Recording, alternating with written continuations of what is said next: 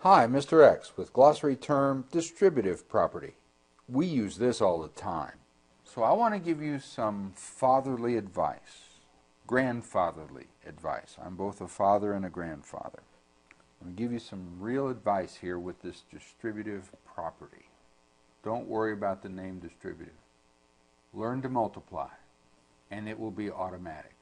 You must learn your facts of multiplication you must learn your times tables. That's the key. The key to employ the distributive property is not understanding the distributive property as opposed to the associative property or the commutative property. It's learning how to multiply. Quick example. You see 3 parentheses x plus 5 close parentheses. That is exactly the same as 3 times x plus 5. And what that is equivalent to is 3 times the x plus 3 times the 5. Well, I never write all this, but that's what it is.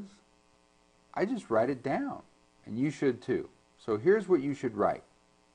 When you see this, you should go straight to this. Because 3 times x is 3x. And 3 times 5 is 15. And you should be done. Just that fast. You should be able to go directly to 3x plus 15. Because they're equivalent. 3 times the quantity, x plus 5, is 3x plus 15. Learn to multiply. One more example you see 7y in front of the parentheses y minus 6. We're going to multiply. And technically we're going to distribute. We're going to distribute the 7y over this binomial. Technically, this term distributes over addition or subtraction. It means, again, I never write this, but it means 7 times y times y. This 7y is the same as 7 times y. Now we multiply this 7, ti this 7 times y times the y and times the negative 6.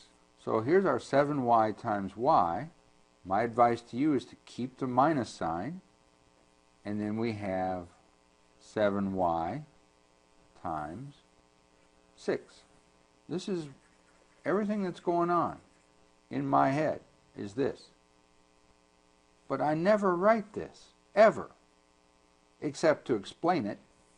What's this going to be equal to? 7y squared minus 42y. I'm telling you, you want to be able to go from this directly to that. They are equivalent.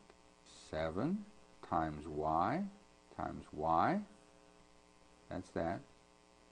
7 times y times negative 6. That's that. Learn to multiply. And to do this effectively, you must, you must, you must learn your basic facts of multiplication. You have to. If you're relying on a calculator, you're not going to master the distributive property. I guarantee it learn to multiply. On the World Wide Web at MrXMath.com.